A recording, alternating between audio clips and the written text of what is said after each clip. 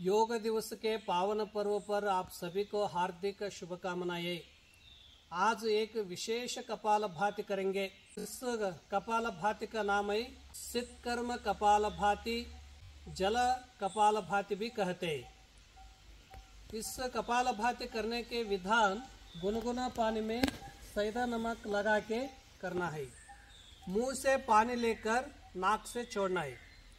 इस सिद्धकर्म कपाल भाति करने से आँखों का दोष निवारण होता है। कानों का कम सुनाई देता है तो उसका भी दोष, उनका भी दोष निवारण होता है। बारंबार गाला का तकलीफ़ होता है तो वो भी छुटकारा मिलता है।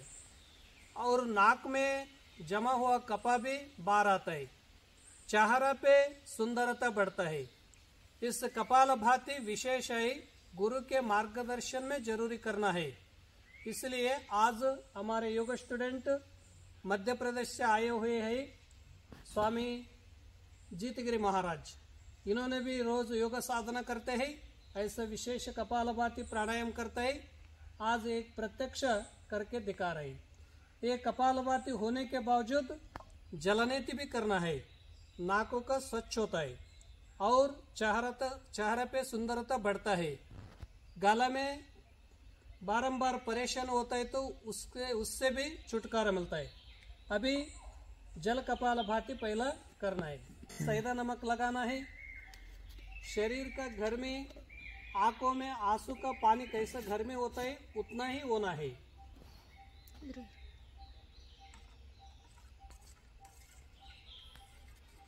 पानी भी स्वच्छ होना है।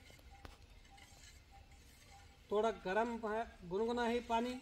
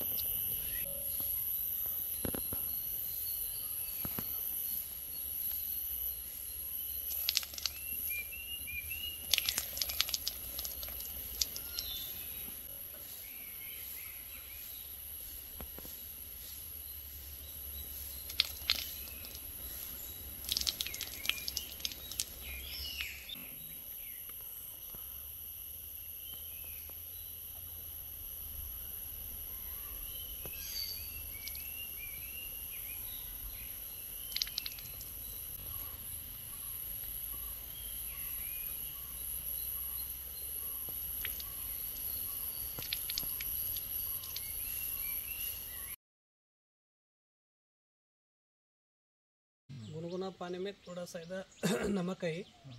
इस तो पहला राइट से लेफ़्ट लेफ़्ट से राइट ऐसा आराम से करना है।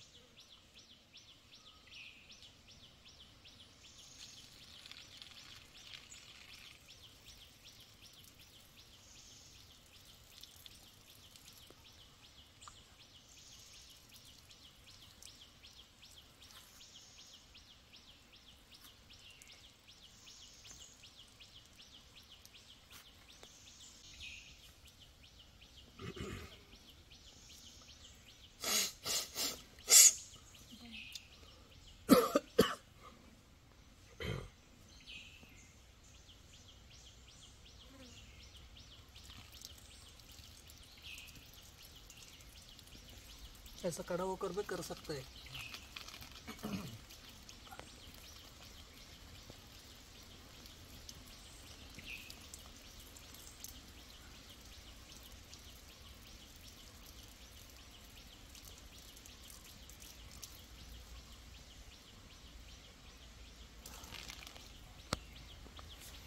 इस तरह करने के बाद थोड़ा कपाल भाती करना है।